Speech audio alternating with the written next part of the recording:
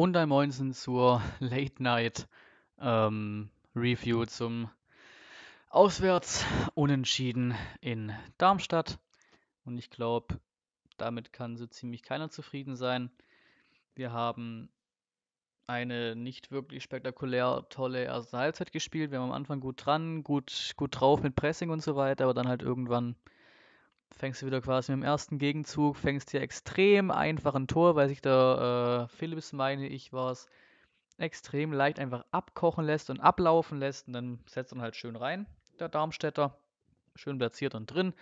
Danach haben wir quasi, ja, wir sind eigentlich das ganze Spiel wieder mit Ballbesitz, glaube am Ende auch vom Spiel wieder, glaube 65% oder sowas, voll am Start.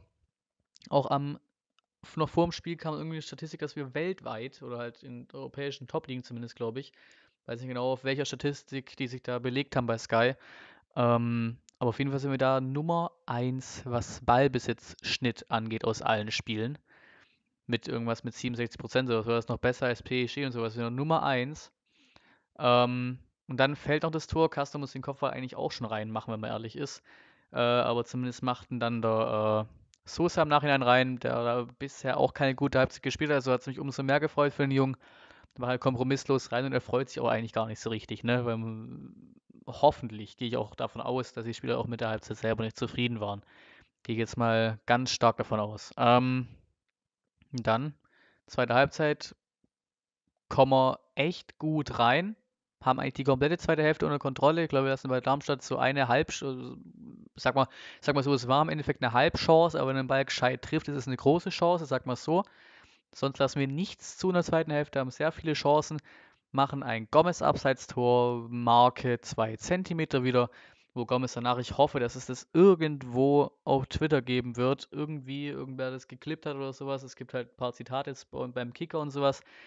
Aber überragend mal wieder. Überragendes Interview von Gomez danach wieder, wo sich wieder aufgeregt hat.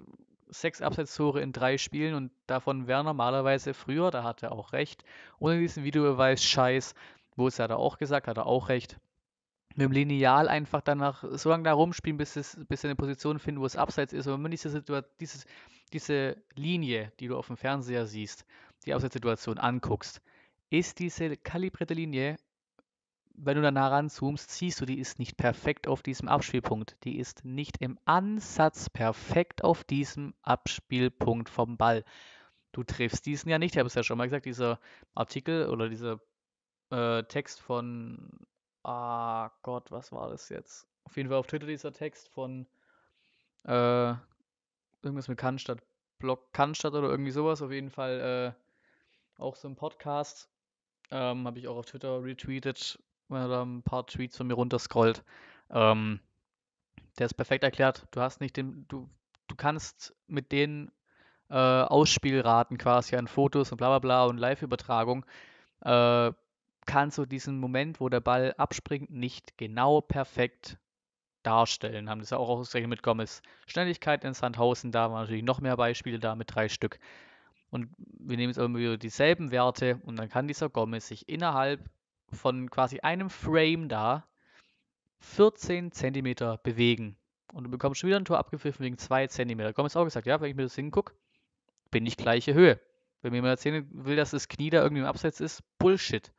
Bullshit. Das ist eine Suche danach, dass du ein Abseits abpfeifen kannst. Eine Suche danach. Du merkst, wie, un, wie einfach unsicher sich die Schiris auf dem Platz selber sind. Dann kommt es auch gesagt, stimmt auch das ist eine Suche mit dem Lineal, wann man Linie findet, wo man abseits steht. Weil diese Linie, wenn man sich das anguckt und ranzoomt, die ist nicht perfekt auf Abspielpunkt vom Ball.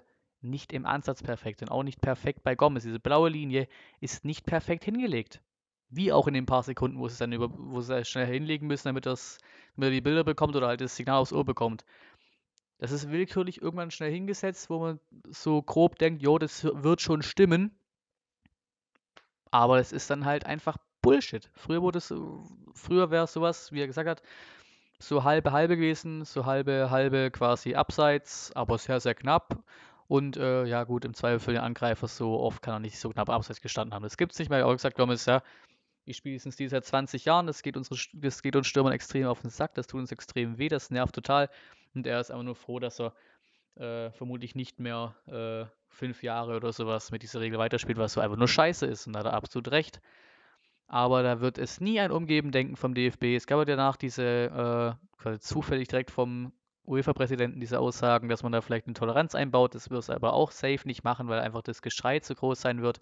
Wie Toleranz, wie ist das belegt und bla bla bla. Es wird immer weiter einfach nur, es sind keine Fehlentscheidungen mehr. Es sind keine klaren Fehlentscheidungen mehr, die irgendwie zurückgenommen werden. Es ist einfach ein reines Gesuche danach, irgendwelche Tore wieder abpfeifen zu können, um zu zeigen, unser Videobeweis ist so toll. Wir haben gerade mit 1,5 Zentimeter ein Absatz abgepfiffen. Unser Videobeweis ist richtig geil oder sowas. Oder wir haben gerade wieder ein Handspiel gepfiffen.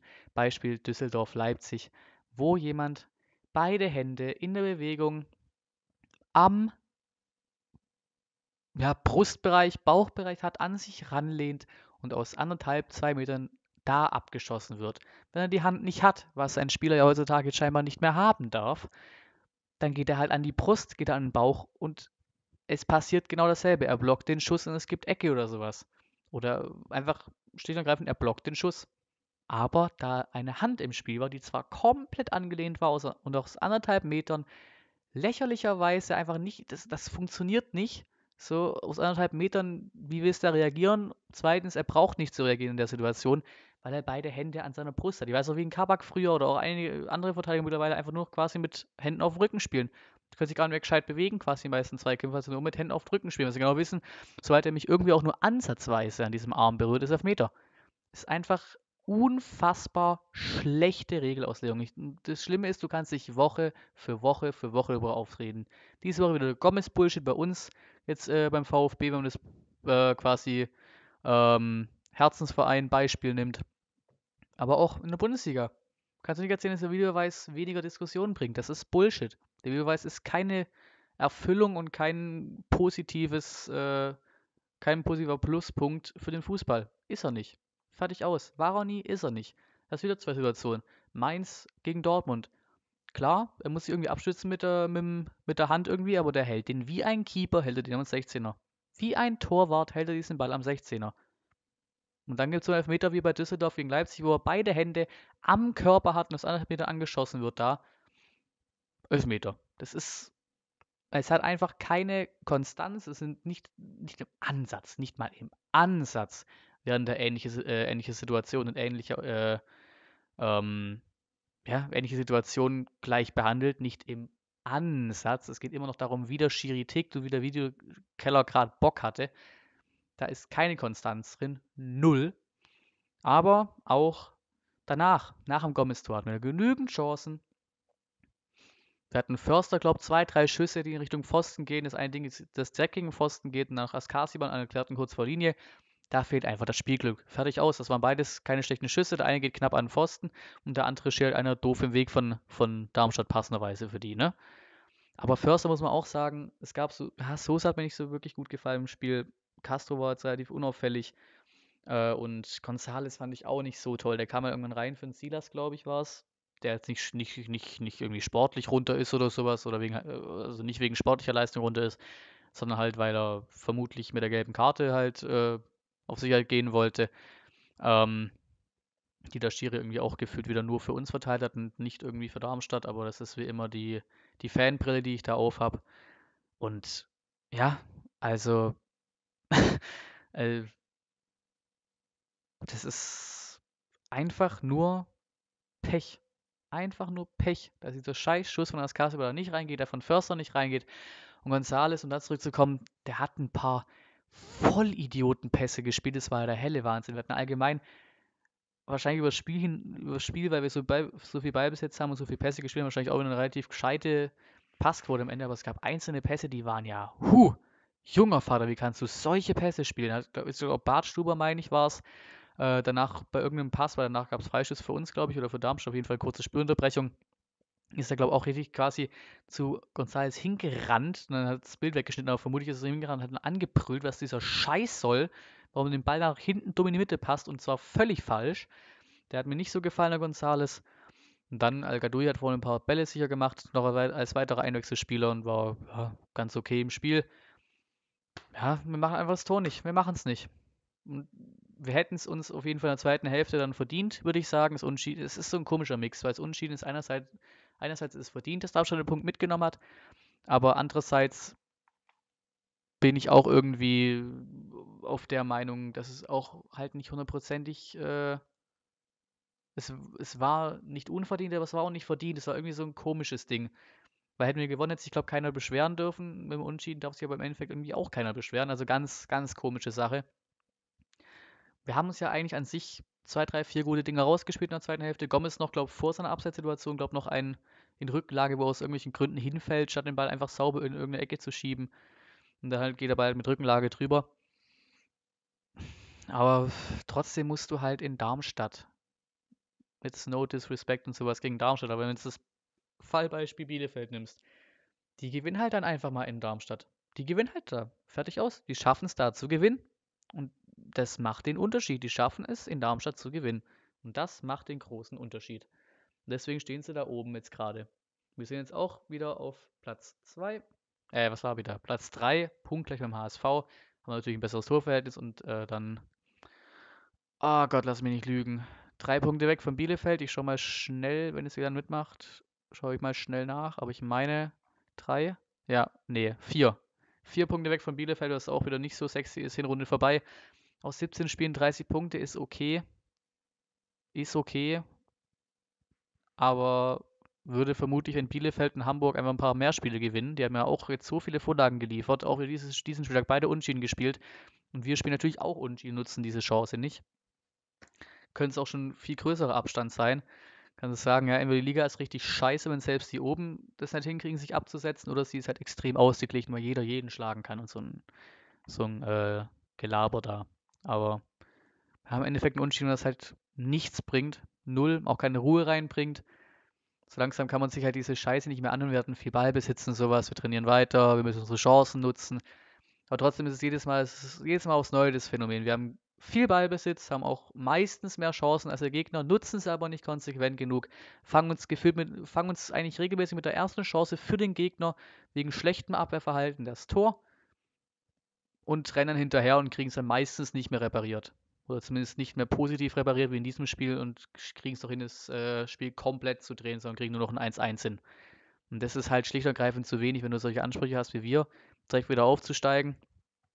Jetzt geht es dann nach Hangover. Stimmt, was ich auch noch sagen wollte. Warum zur Hölle wechseln wir eigentlich nur zweimal?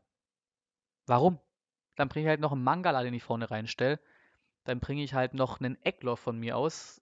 Soll der Junge mal seine Chance kriegen. Aber warum wechselst du in einem Spiel, wo du mit einem Sieg so viel machen kannst? Warum wechselst du dann nicht nochmal offensiv? Wir hatten nicht mehr so viel Offensives auf der Bank, klar. Dann bringe ich halt mal die letzten fünf Minuten, letzten sieben Minuten oder sowas, letzten zehn Minuten, bringe ich halt nochmal einen Eckloff. Der schadet doch keinem.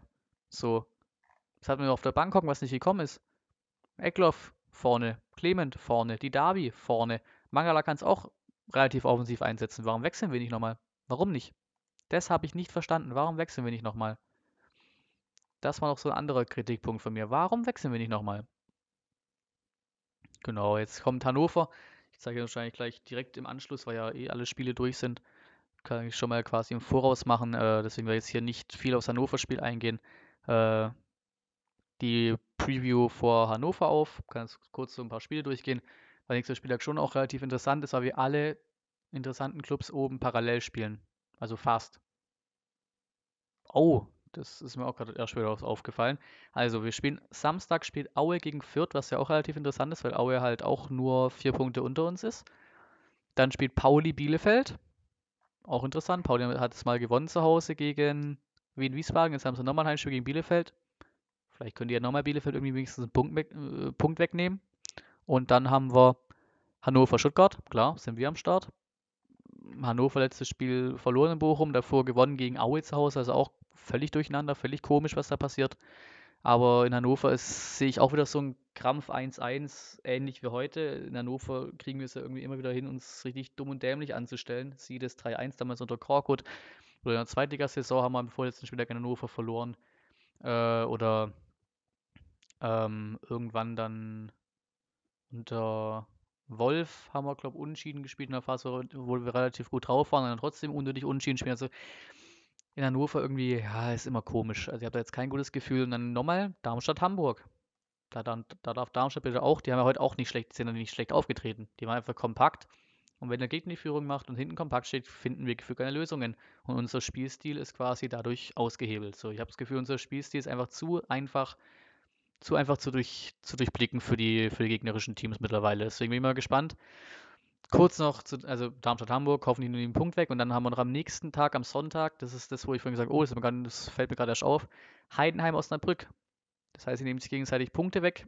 Die sind ja beide unter uns. Heidenheim mit drei Punkten unter uns und Osnabrück vier Punkte unter uns.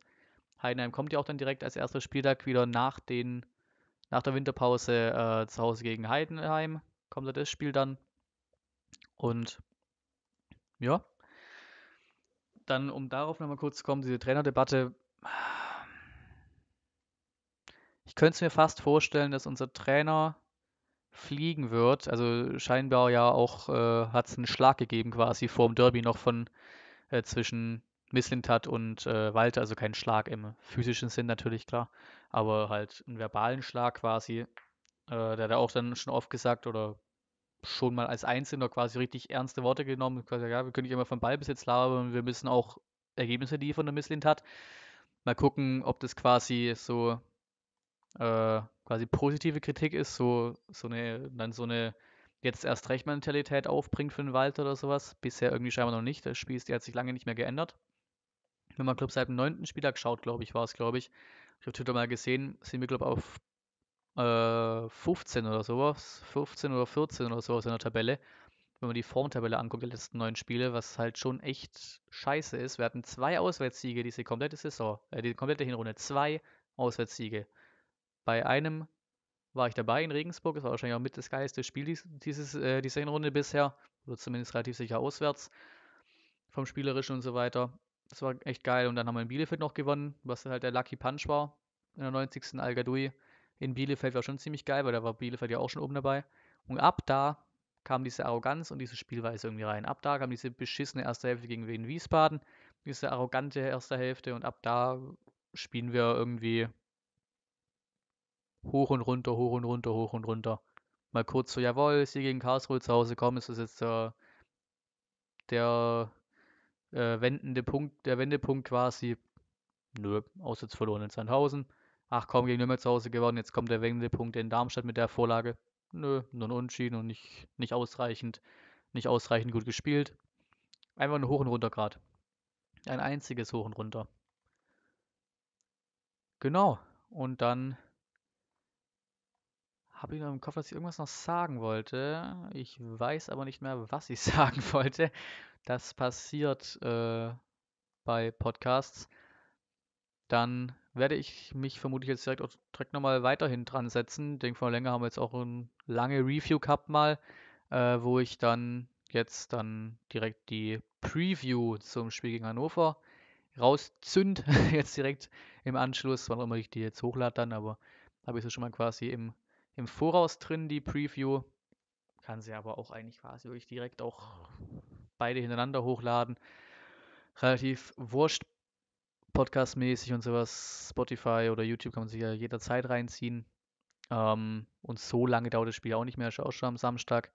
Wo ich dann auch wieder zu Hause bin, da gibt es keine Live-Reaktion. Ähm, stimme ich dann noch kurz so ein bisschen den weiteren Plan quasi schildern, dann kann ich mich später in der Preview noch ein bisschen kürzer halten äh, den weiteren Plan quasi schildern zum, ähm, ja, wie es quasi einfach weiterläuft jetzt, ne? Es sind jetzt hier Weihnachtstage und äh, Feiertage und Silvester und so weiter. Auch mit den Auswärtssachen, weil wir dann irgendwann ähm, vorlesungsfreie Zeit haben. Dafür zücke ich mein, mein Handy. Und wir sehen, dass erstmal Hannover wird keine Live-Reaktion, dann bin ich schon wieder zu Hause, weil wir dann halt über Weihnachten und Silvester natürlich Feier, äh, Feiertage haben und frei haben.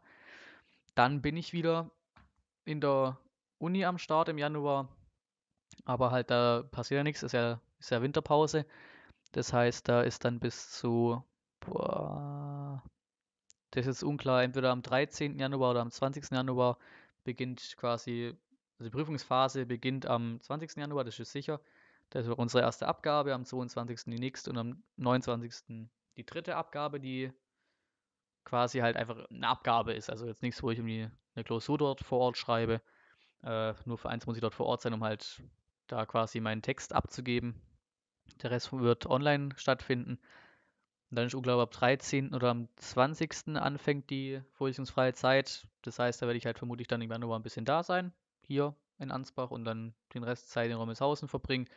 Deswegen wird dann halt auch diese, ähm, das Spiel in St. Pauli vermutlich keine, äh, was heißt vermutlich, da wird wahrscheinlich keine Live-Reaktion kommen, da ich da zu Hause bin.